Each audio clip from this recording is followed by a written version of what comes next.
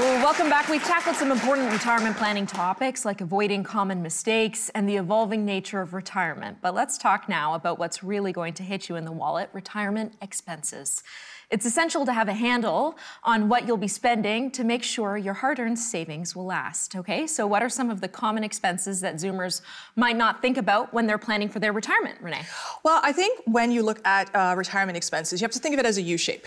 All right, so the top of the U, you know, you've just finished working and you, or you might still be bringing in income.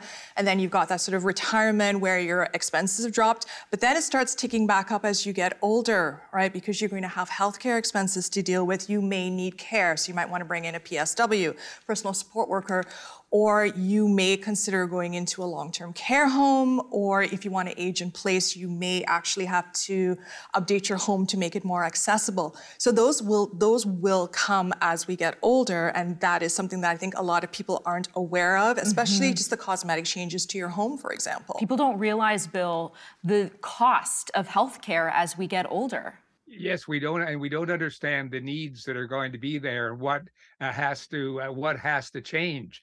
Uh, as was just mentioned uh, uh, most people would like to stay at home as long as they can but the the cost of funding your own home care uh, is tremendous and governments don't look after people well in their own communities. So money for that family funded home care is is an issue that's going to face uh, everyone. If you're going to move into a residence, that gives extra cost too. And there's there's still a feeling among many older Canadians and and and not quite so old that when I get older, the government will look after me, and that's just not going to happen. Okay, so Rob, for those that are listening right now to this conversation and think I could find myself in that position, what advice do you have for them? Uh, you know, this is probably one of the toughest conversations you can ever have because you never know when you're going to get sick.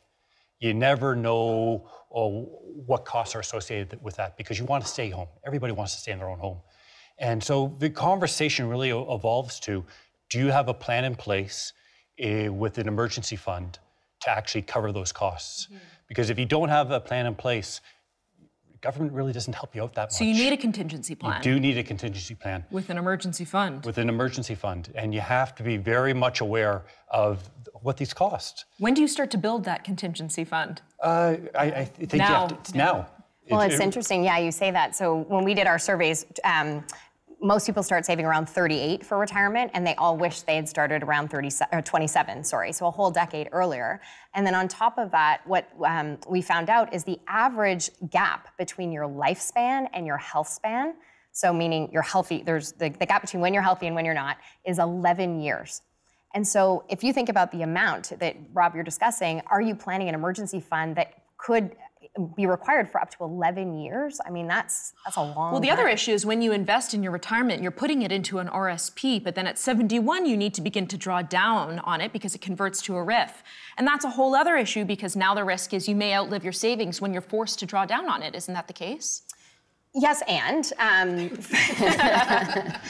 you know, again, it, it, really depends on your situation, right? There are some people who, you know, aren't going to live to 100. And so, yes, drawing down is actually beneficial because then they get to live the life that matters to them. Mm-hmm. And it's always that balance, right? It's what matters to me, what's important to me, and how do I want to live? So, thus, I want to, you know, project my savings and my spending accordingly. We don't want people to sit around hoarding their money, hoping for one day to spend it, and then unfortunately get sick and not be able to use it either, right? It's finding that balance.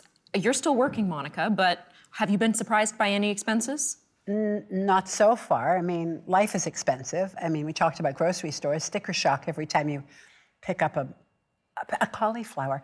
Um, however, at, at, this point in time, I'm working. I love working. It's what I do. My husband loves working. Um, uh, what I imagine, this isn't our story, but I spoke to a, a, a hair a hairdresser the other day who turned 80 and he's still working and he's still got a reputation, a great reputation. And he said to me, he said, Here's the problem. He said, I'm still on my game, but what young people want to come to an 80 year old hairdresser, even if, I, and, and I thought about that. And that applies to so many people. And all this talk about what we should have done at 30, there's a whole swath of people who did not do that at 30. And so, what do we do to how can, I mean, at this moment in time, I actually do have an investment portfolio. Yes, not a big one, but I'm thrilled that I have it. I'm asking, what do people do? Your average person who hasn't planned and is now sitting in this panic position saying a million point seven? Like, that's not attainable. Well, the first step is that it's never too late right? It's it's start now. Go and speak to someone, find a professional that you can trust who has the credentials and and begin having that discovery conversation around what matters to you. So it really isn't just dollars and cents, right? Because as we talked about, it's how you want to live your life and how you want to be with your family and, and what your values are. So have those discussions now and then start to map out what is possible. There are tools and technology that financial advisors and planners use now to help you map out and understand what is possible and, and what trade-offs you can make along the way. And our, our newest research coming out with AgeWave um, actually talks about that financial resilience. And what we're finding is that all um, older adults are telling us, Canadians are telling us, it pays to be prepared and to be adaptable and flexible and resilient in your in your later years. Can you talk to a friend of mine for me? Sure. Because I swear, like once a month, to. once a month, she's like, I, you know, I should really start saving for retirement and get on Wealthsimple because we were talking about Wealthsimple, not a promotion. Um, and I my, myself and another friend were like, yes, you should actually start saving for retirement. She's in her late 30s. And there's just this block. Yeah. Right? Isn't it Last just, word to you, Rob. Isn't it just, you have to talk to someone else. Get an opinion, ask the questions. And don't be shy to ask multiple people the exact same question because the hardest thing is getting started. And when you think about what can you do as you're, uh, you know, in your 30s, 40s, 50s, and you haven't started saving, you have to be asking the question because you still have an awful lot of time. You, you, life does not stop at 65. Life actually continues for another 30 uh, long years. We can hope.